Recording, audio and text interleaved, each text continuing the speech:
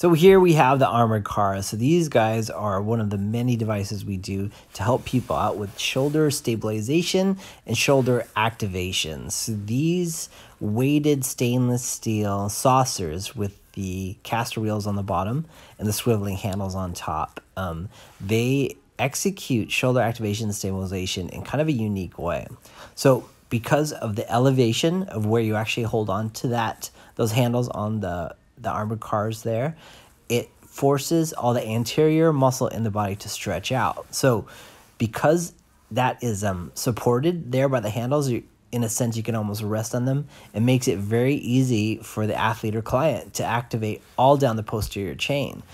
So you can see as all my guys hit their drills, all the way from their glutes, low back, and upper back, all that's being activated and that it's really augmented by the position of the armored cars and also the smooth movements and the weight all those components uh, make it for a very easy path to healthy and functional shoulder activation all right, so here we are, some gorgeous close-up shots of the armored cars. So um, these are a little different color. These are uh, our prototype colors we always put them in those colors to test them out to make sure that the build is sound. So um, there's the old versions. That's what actually the color is going to look like when we release these new versions. So the new versions, handles come in and out.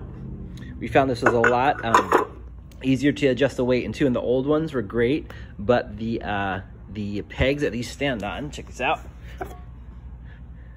were a little too high. So for some of our guys, that was uh, not productive. So it was actually hurting their shoulders. So with these ones, we can keep uh, the height appropriate so they're safe and pain-free, and then we can build up height as we build up weight. So uh, another feature about these, so beyond the casters on the bottom, multi-directional. It's very important if we're trying to teach these smooth arcing movements in the shoulders.